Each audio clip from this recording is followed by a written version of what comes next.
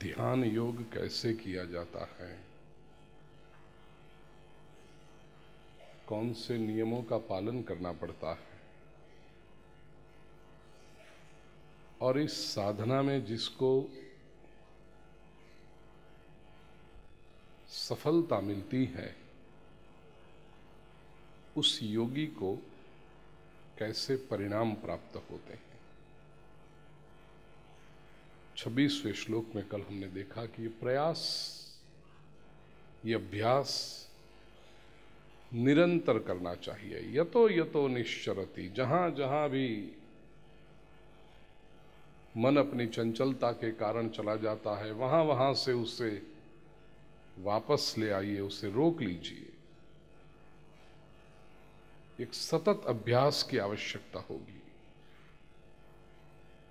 और जिससे ये अभ्यास हो गया है, वह ध्यान योगी, उसकी साधना का फल क्या है? प्रभु, सत्ताईसवें और अट्ठाईसवें दो श्लोकों में बताते हैं। सत्ताईसवां श्लोक, एक एक चरण।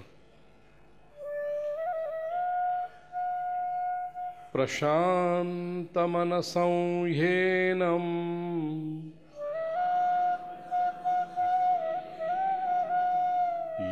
योगिनं सुखमुत्तमम्।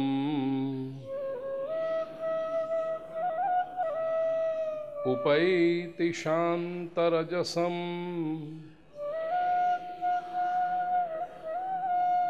ब्रह्मभूतमकल्मषम्।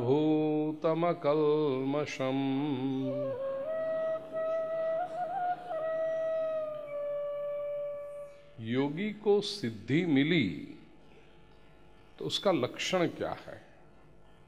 उसका परिणाम क्या? है सताइसवें श्लोक में प्रभु कहते हैं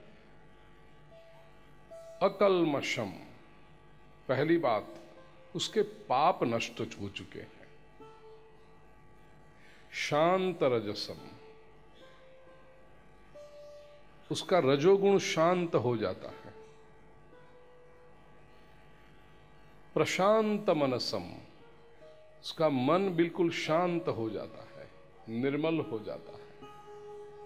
ऐसे एनम ब्रह्मभूतम योगिनम। ब्रह्मरूप जो हो गया, ब्रह्मभूत हो गया, ऐसे योगी को ही निश्चित उत्तमम सुखम उपैति, उसे उत्तम प्रकार का, अर्थात सात्विक प्रकार का सुख प्राप्त होता है।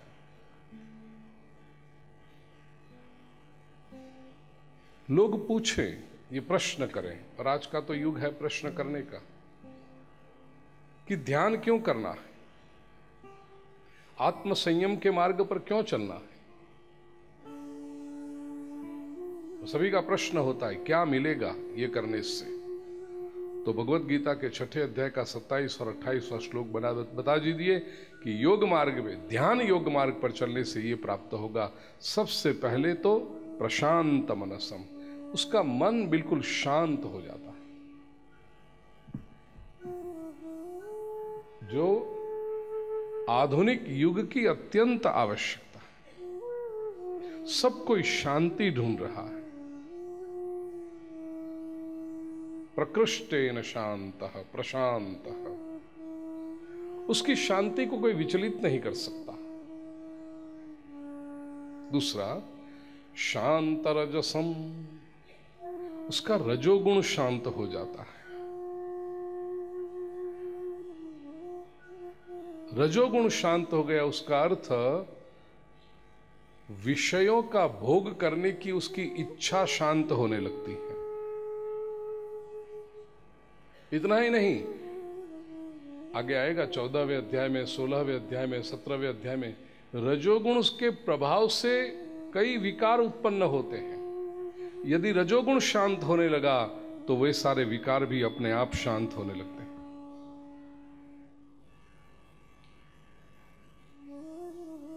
चौदहवें अध्याय के सत्रहवें श्लोक में प्रभु कहेंगे, रजसो लोभ एवच।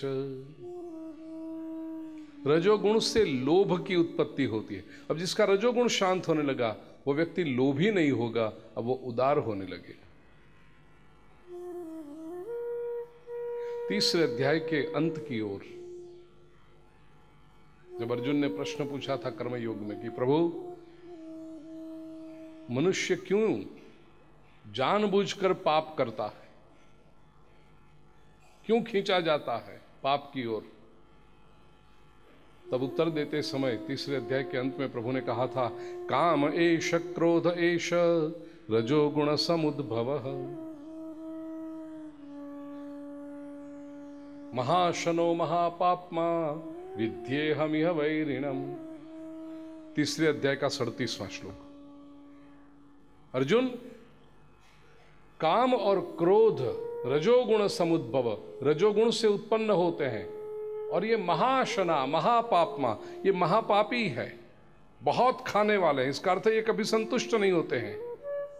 और व्यक्ति जो पाप की ओर जाता है, वो इन दोनों की ओर जाता है। इन दोनों के काम और क्रोध। काम और क्रोध कैसे उत्पन्न हुए? रजोगुण से उत्पन्न हुए। रजोगुण समुद्भव। अब जिसका रजोगुण शांत होने लगा, शांत रजस तो उसमें कामनाएँ कम होने लगेगी, क्रोध कम होने लगेगा। वो छोटी छोटी बातों पे दिमाग नहीं घुमाएगा। शांति से काम लेगा। दूसरे की भूल के लिए वो स्वयं को सजा नहीं देगा। क्रोध तो यही है ना? भूल दूसरे ने की, सजा आप अपने आप को दे रहे हो।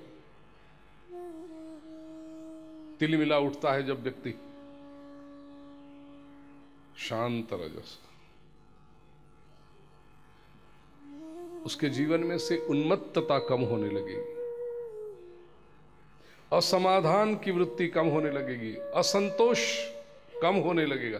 ये सारे विकार और इनके सबके परिणाम स्वरूप व्यक्ति जो दुखी होता है। चौदहवें अध्याय के सोलहवें श्लोक में श्री कृष्ण कहते हैं, रजसस्तु फलम दुखम। वो दुख भी उसके जीवन में से कम होने लगेगा। शांत रजस। अकलमश कलमश का अर्थ है पाप। अकलमश निष्पाप। ध्यान के मार्ग पर चलने से व्यक्ति निष्पाप होने याद रखना, जब भी कोई ध्यान करता है और वो सही मार्ग पर है तो इसके जीवन में ये सारे परिणाम दिखने चाहिए। लोग पाँच पाँच साल से दस दस साल से ध्यान कर रहे हैं, सामने दाढ़ी को लटका के। और उतना ही क्रोध, उतना ही लोभ, उतनी ही विषय की इच्छाएँ, ये ध्यान किस काम का? ये सारी बातें भगवत गीता की इसलिए समझनी चाहिए कि आज के युग में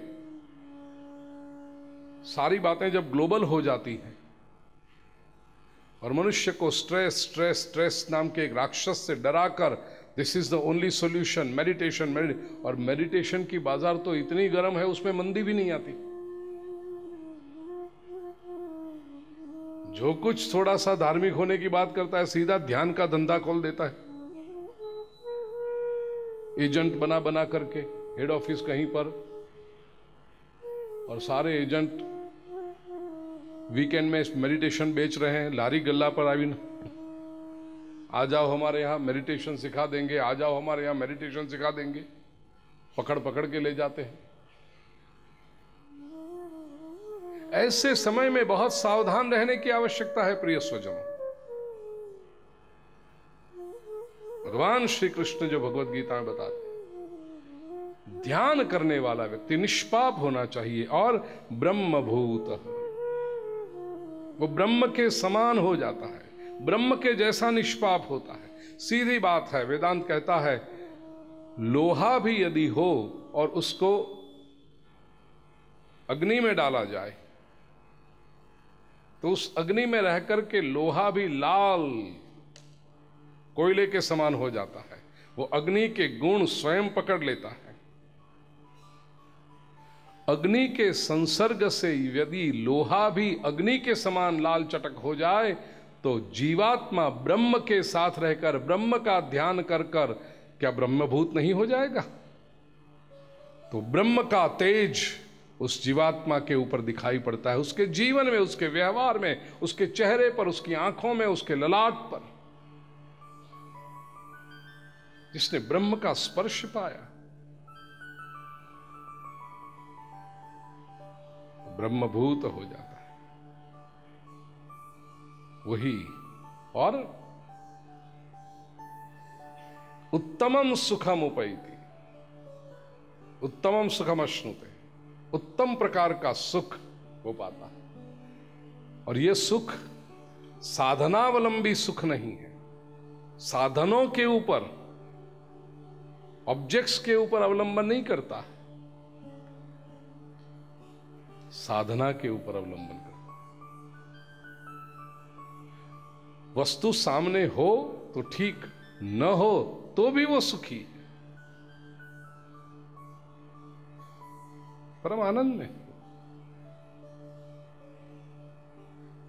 और ये सबसे बड़ी बात मुझे जो इस श्लोक में लगती है, शांत रजसम।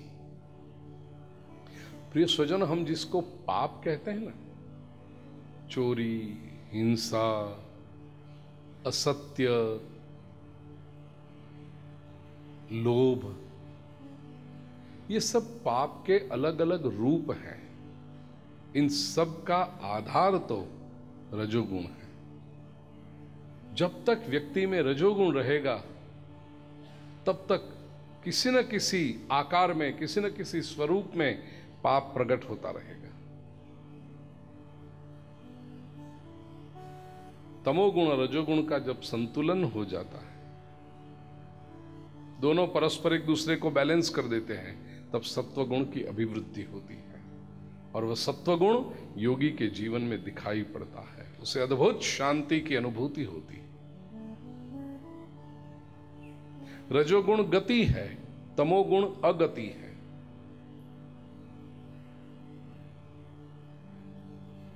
प्रवृत्तिरारंभ रजोगुणी व्यक्ति निरंतर प्रवृत्तिशील रहेगा ये करूं वो करूं ऐसा करूं इधर करूं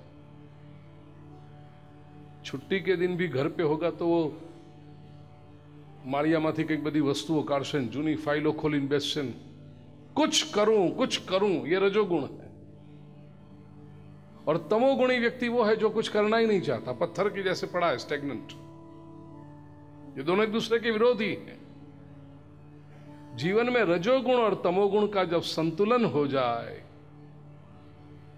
अगति गति को रोक ले, तब सत्व गुण की अभिवृद्धि होती है। और ऐसा व्यक्ति बहुत सुंदर।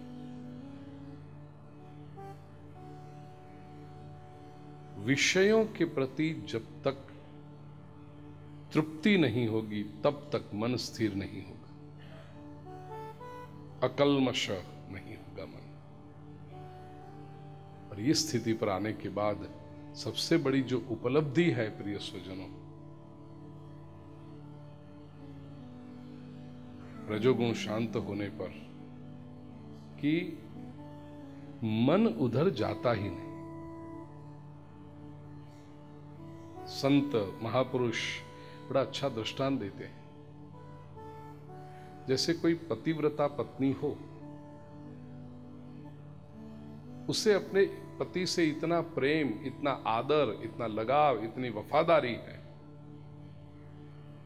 कि वो समाज में दूसरे पुरुषों को देखती है।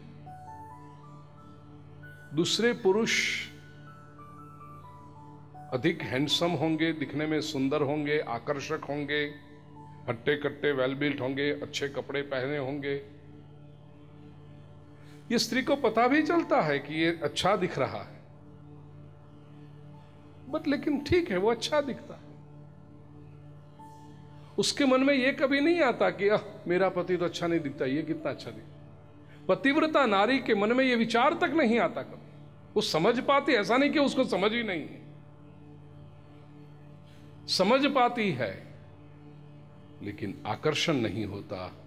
ऐसे जो ध्यान योगी है, वो विषयों की महत्ता को समझते हैं, लेकिन उनके प्रति आकर्षण नहीं होता। उनको तो अपने पति पर ब्रह्म परमात्मा में ही स्थिरता का अनुभव होता है। मेरे प्रभु से बढ़कर और कोई आकर्षक इस संसार में हो ही नहीं सकता।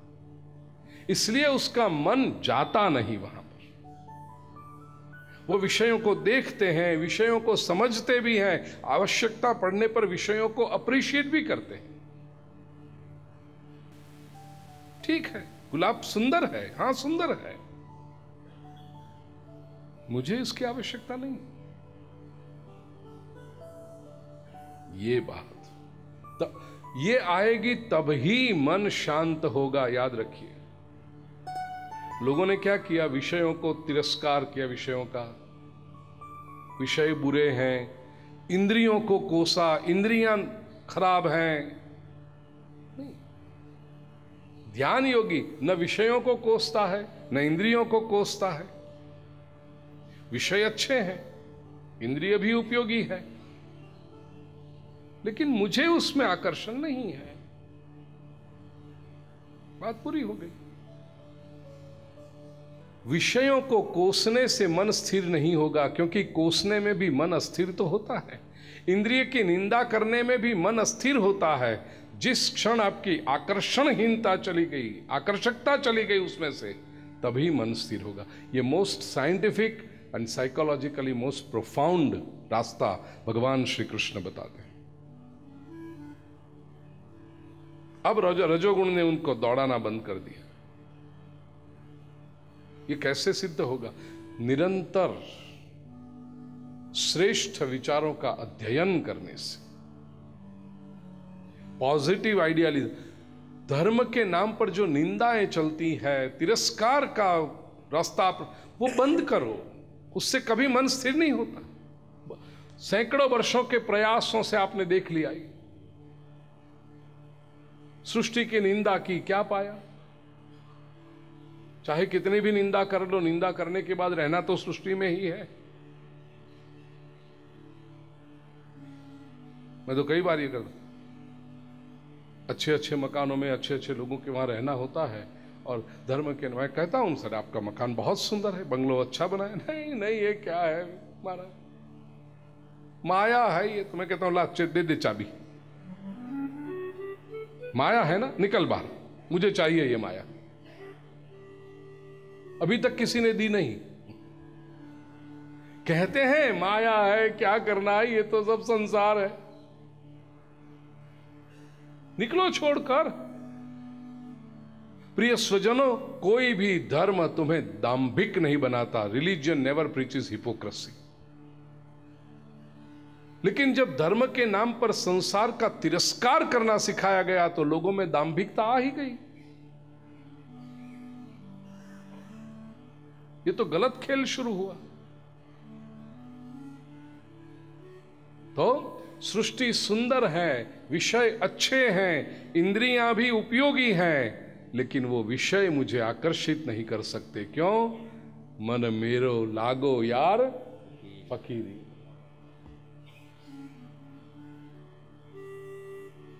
मुझे अपने परमा, उसमें आनंद है मुझे। और वो जो आनंद मेरा है, उससे ये आनंद कम है तो मैं अधिक आनंद को छोड़ करके कम आनंद के पीछे क्यों भागूं? सीधी सी बात है।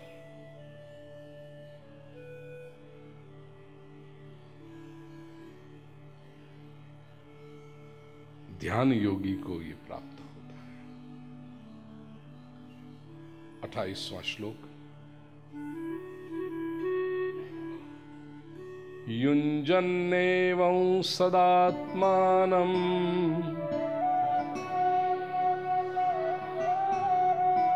योगी विगतकल्मषः। सुखेन ब्रह्म संस्पर्शम। अत्यंतम सुखमश्नुते एवं आत्मान सदा युंजन इस तरह आत्मा को निरंतर परमात्मा में लगाए रखकर। विगत कलमश देखिए, अगले श्लोक में कहा था, सत्ताईसवें श्लोक में अकलमश यहाँ विगत कलमश जिसका पाप चला गया है, पाप रहित। ऐसा योगी सुखे न सुखपूर्वक, ब्रह्म संस्पर्शम अत्यंतम सुखम अश्नुते। ब्रह्म संस्पर्श रूपी, ब्रह्म की प्राप्ति रूपी अत्यंत सुख का अनुभव करता साधना पथ में कठिनाइयाँ हैं। व्यक्ति जब उपासना कर रहा है, तब उसकी परीक्षा भी ली जाती है। कल जैसे हमने दृष्टांत में देखा, पार्वती के लिए। अरे, बाज़ार में एक मटका भी आप खरीदने जाओ, सौ रुपए का तो भी कितना चेक करते हो उसको? ऐसे देखते हो उसमें कोई छिद्र नहीं ना?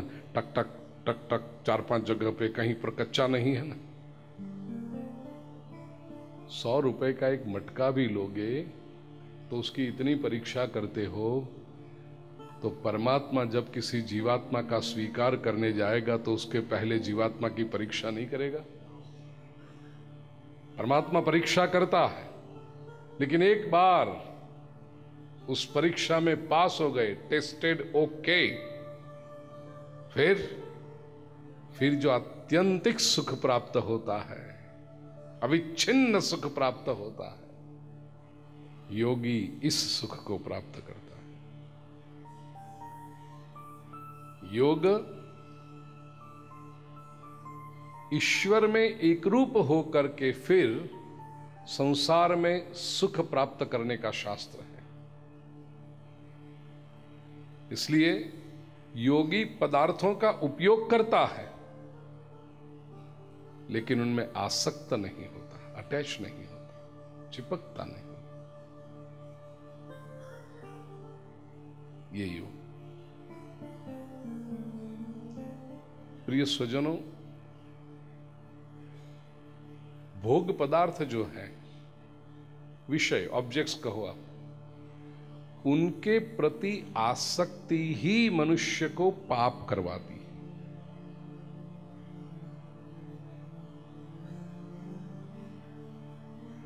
रबड़ी आपने एक बार खाई, अच्छी लगी। हफ़्ते भर के बाद, दस दिन के बाद फिर से वो रबड़ी की इच्छा जगेगी। रबड़ी अच्छी थी। अब, ठीक है, आसपास में कहीं से मिलती है, रबड़ी ले आओ। लाए खाई नहीं, लेकिन वो उस शहर की, उस दुकान की जो रबड़ी थी ना, उसके जैसी नहीं है, वो चाहिए। तो क्या करो? उस शहर में जाओ। अब वहाँ जाने के लिए खर्च भी करना पड़ेगा, समय भी लगेगा। काम जहाँ कर रहे हो, वहाँ से छुट्टी लेनी पड़ेगी। अब छुट्टी बार बॉस को ये तो नहीं कह सकते कि रबड़ी पीने जाना है। तो कोई बहाना बनाना पड़ेगा, झूठ बोलना पड़ेगा। हमारे कोई स्वजन बीमार है, उनकी तबीयत पूछने जाना है, जाना पड़ेगा।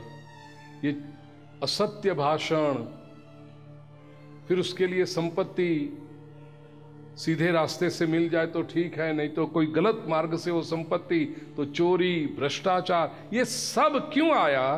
क्योंकि उस रबड़ी के प्रति, रबड़ी केवल दृष्टांत है, आप बड़े बड़े समझ लेना अपने मन में जो है वो। विषय के प्रति जो आसक्ति निर्माण हुई,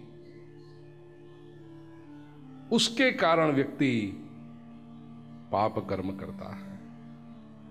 क्योंकि विषय की लालसा व्यक्ति को शांति से बैठने नहीं देती,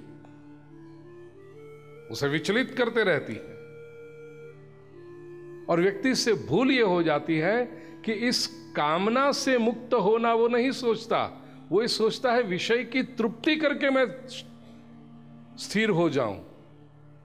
विषय की एक बार तृप्ति करोगे, दूसरी बार उसकी डिमांड जगेगी। दूसरी बार तृप्त करोगे, तीसरी बार डिमांड जगेगी। विषय की इच्छा से मुक्त होना।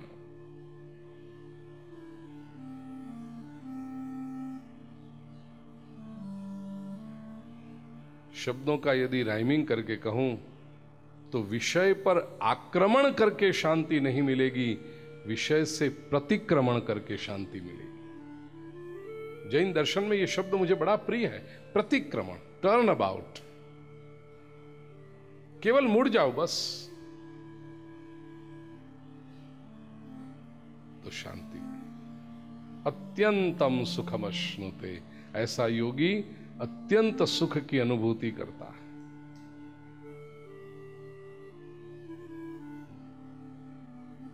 भोगों के स्पर्श से सुख मिलता है, उसमें हम ना नहीं कहेंगे, क्योंकि हमने उस सुख का क्षणिक भी अनुभव किया। लेकिन भोगों के स्पर्श से जो सुख मिलता है, वो कनिष्ठ है, पहली बात। दूसरी बात, वो अल्पजीवी है। भोग स्वयं क्षणिक है और वह भोग भोगने वाले को भी क्षीण बनाते हैं। भोगा न भुगता वयमेव भुगता स्वागत। मोगरी, आनंद अनुपम मिशन से पूज्य शांति भाई और बाकी संत गण सब साथ में पधारे हैं।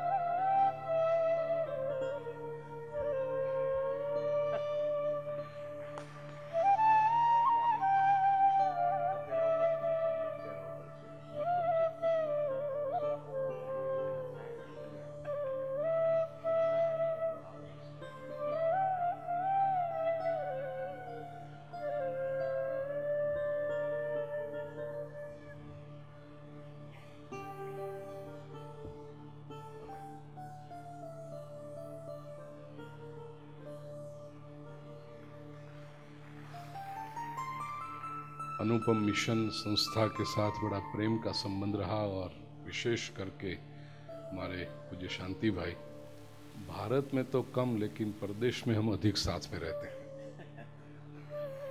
अमेरिका में की जो संस्थाएँ हैं एलन टाउन पेंसिल्वेनिया में, मंदिर का जब उद्घाटन हुआ, तब अपनी बहुत सुंदर कथा का आयोजन किया।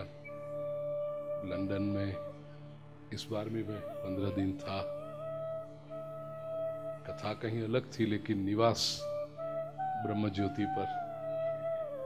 और इस अगस्त में 22 से 28 अगस्त 2020 लंदन की धरती पर एक अद्वितीय घटना, अनुपम मिशन के तत्वावधान में होने जा रही है। अष्टोत्तर शत श्रीमद् भागवत पारायण 108 पोथी, जिसमें से 30 पोथियाँ तक तो हो गई हैं। मैं समर में था तब तक। और आगे भी कुछ बड़ी होगी तो जयेंद्र भाई मुझे बताएँ, आगे हुई होगी तो। लेकिन बहुत सुंदर आयोजन 28 22 से 28 अगस्त 2020 में लंदन में कथा। पहले भी हुई है तो बड़ा आनंद करते हैं, भोजन करते समय मुझे वो ब्रह्म ज्योति के डाइनिंग वो याद आया शांति और उसमें विशेष करके मुझे शांति भाई जब अपने सदगुरु ब्रह्मलीन योगी जी महाराज के प्रसंग जब सुनाते हैं, जो आपको कहीं पुस्तक में नहीं मिलेंगे, कहीं नहीं मिलेंगे, ऐसे तपस्वी लोगों ने जो मुझे योगी जी महाराज के सानिध्य में रह करके उनका अनुभव किया है तो वो प्रसंग मैं सुनता हूँ, फिर व्यासपीठ से कभी प्रसादी के रूप में विश्व तक पहुँचाता हूँ। शांति भाई।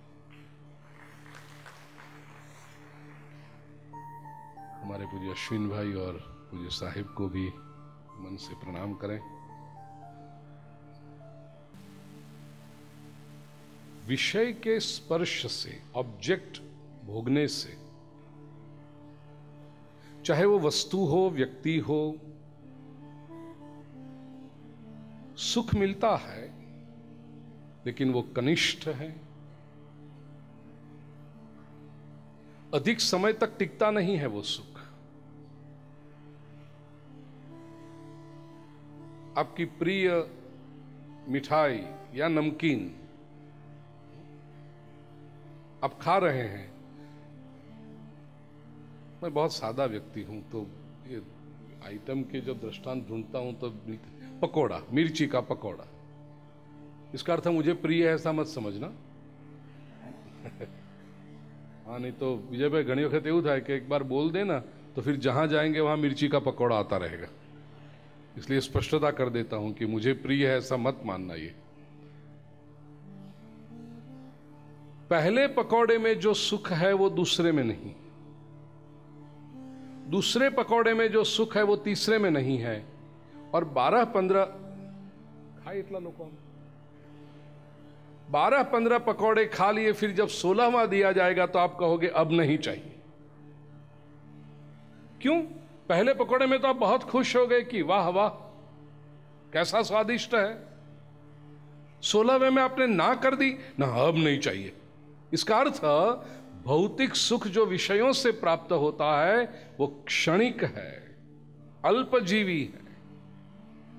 इतना ही नहीं, वो भोगने वाले को क्षीण कर देते हैं।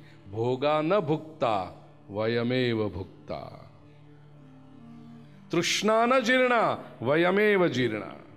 भोग नहीं भोगे जाते, हम ही भूग जा, भुग जाते हैं। तृष्णा जीर्ण नहीं होती, भोग भोगने वाला जीर्ण हो जाता है। कालो न या तो वयमेव याता। समय कहाँ जा रहा है? जा तो हम रहे हैं। और मनुष्य अपने आप के साथ एक छल कर रहा है, टाइम पास। हमने इतना टाइम पास किया। तुमने टाइम पास नहीं किया, समय ने तुम्हें पास कर दिया। समय तो वहीं खड़ा है, समय कहाँ गया है?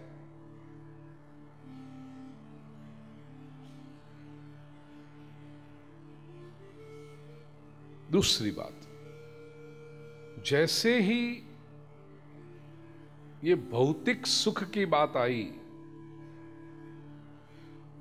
पदार्थजन्य विषयजन्य सुख की बात आई, तब तुरंत ही उसमें राग, द्वेष, ईर्ष्या, मत्सर, भय, ये सब आने लगता है। मेरे पास महँगी वाली गाड़ी आई तो सुख मिलता है। लेकिन उसके साथ कितना जुड़ जाता है? कुछ लोगों का द्वेष जुड़ जाता है, कुछ लोगों की ईर्ष्या जुड़ जाती है, भय जुड़ जाता है। कहीं पर ये गाड़ी पार्क करके चला जाऊँगा और कोई शरारती व्यक्ति उसके ऊपर खरोच कर देगा तो? कोई इस गाड़ी को नुकसान करके जाएगा तो? मेरी इस गाड़ी को कोई चुरा लेगा तो? प्रत्येक भौतिक सुख के पीछे ये विकार लगे ही रहते हैं। और उस विकारों के कारण ऑप्टिमम लेवल तक, महत्तम कक्षा तक व्यक्ति ये सुख का भोग नहीं कर सकता। उतना ही नहीं, उसमें सेंस ऑफ़ पोजेशन आ जाता है, मालिकियत की भावना आ जाती है। और जैसे ही ये मालिकियत की भावना आ गई कि ये सुख विकृत रूप ले लेता है। मेरे जैसा ये किसी के साथ ना होना चाहिए, किसी के पास ना होना चाहिए। इसलिए देखो, कुछ माताएँ होती है ना, भोजन स्वादिष्ट बनाती है, लेकिन उनसे कहो, ये आपने बनाया, वो बहुत सुंदर बनाया, कैसे बनाया? वो नहीं बताएँगे। हमारी मोनोपोली रहनी चाहिए। सबको यदि बता दें तो और कुछ लोग तो बड़े डिप्लोमेटिक कहते हैं। उस रेसिपी की क्या ज़रूरत है? जब इच्छा हो, आ जाना। आइए काले फरी थी चल, बनाए।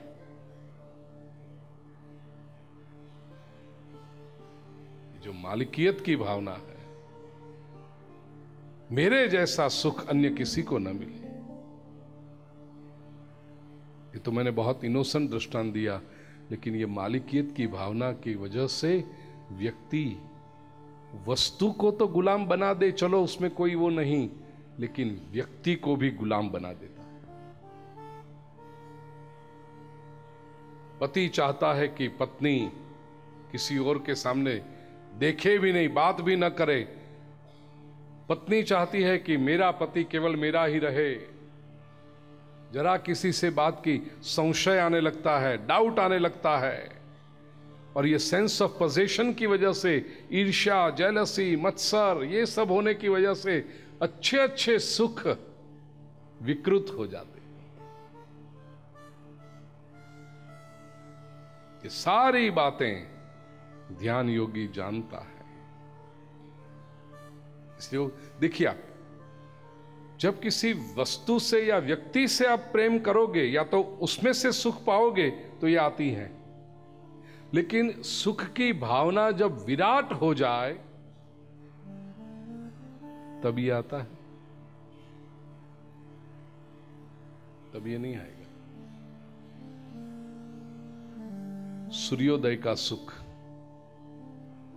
प्रकृति का है। उसके ऊपर कोई अपनी पेटेंट रख सकता है। सेंस ऑफ़ पोजेशन रख सकता है, मालिकियत का भाव। तो वो जो सुख है, उसको पाने के लिए व्यक्ति स्वयं तो प्रसन्न होता है, लेकिन दूसरों से भी कहेगा, चलो चलो, ये देखो सूर्योदय कितना सुंदर। बगीचे में पुष्प खिला है, देखो कितना सुंदर। पक्षी का चहकना, मयूर का नृत्य, ये जो प्रकृति की बातें हैं क्योंकि व्यक्ति को पता है, वो चाहे कितना भी कोशिश कर ले, प्रयत्न कर ले, उसका मालिक नहीं बन सकता। तो वहाँ पर वो सुख बांटने का प्रयास करता है। प्रिय स्वजनों, ऐसे जिस सुख को बांटा जा सकता है, उनमें सर्वश्रेष्ठ आनंद है, ब्रह्म प्राप्ति का आनंद, परमात्मा की प्राप्ति का आनंद। क्योंकि उसके ऊपर सेंस ऑफ़ पोजेशन नहीं हो सकता। इसलिए जिसने ब्रह्म को पाया, जिसने परमात्मा को पाया वो बांटने चला।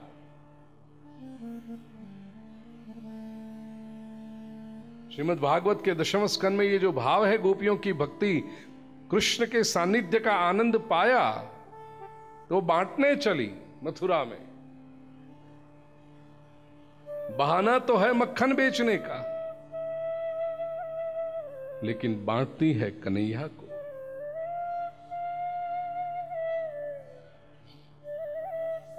गोविंद लो कोई गोविंद लो ये कहते हुए जा रही। मथुरा की स्त्री कहती है, अरे पगली, तेरी मटकी में गोविंद कहाँ है? तेरी मटकी में तो मक्खन है। गोपी कहती है, उस मक्खन के कण कण में मेरा गोविंद समाया हुआ है। गोविंद का स्मरण किया। विक्रेतु कामा किल गोप कन्या मुरारी पादार्पित चित्त वृत्ति दध्यादिकम मोहवशादवोचद ગોવિંદ દામોદર આમાંય તમે જ્ઞાની ખરા હો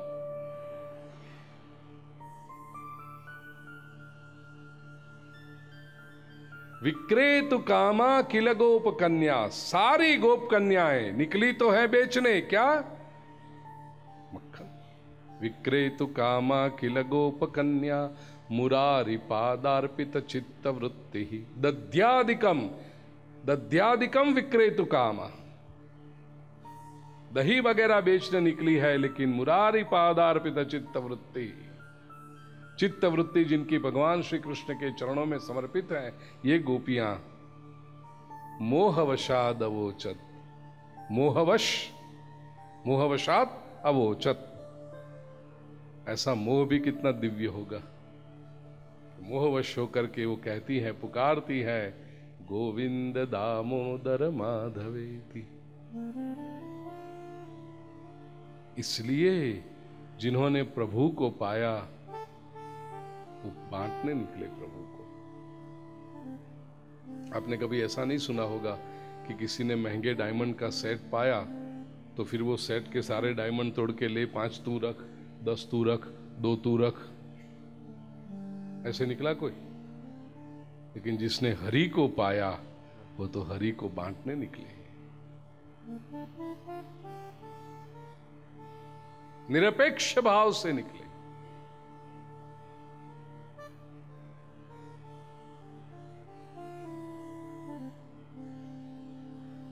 और ये जो बांटने का सुख है वही अत्यंतम सुखम अश्नुते